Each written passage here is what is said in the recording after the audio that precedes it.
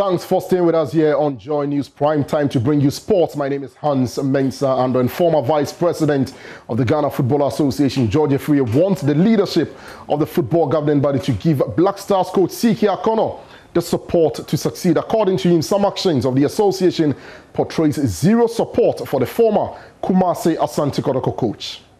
CK Akonnor was hired to replace Kwesi Appiah following the decision of the Executive Council to dissolve the technical teams of all national teams.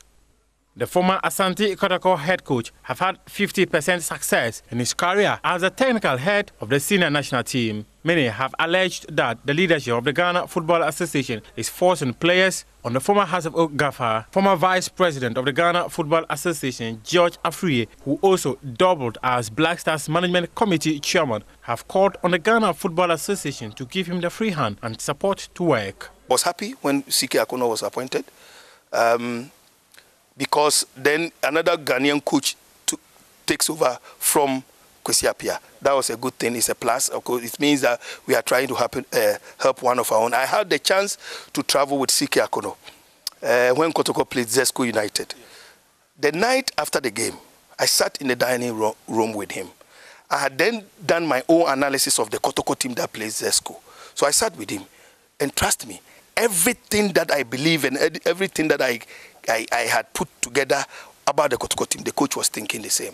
So when I came back, I granted an interview at Kotoka International Airport and I said that CK must be given the chance to continue his job because he was doing a very good job. Now, unfortunately, he was appointed the Black Star coach, somebody who deputized for Kwesi Appiah. And so what I want to tell the FA, that they should leave the man to work. Honestly. Everybody knows that Ked had had a chance to work with uh, CK at a point he was even managing him.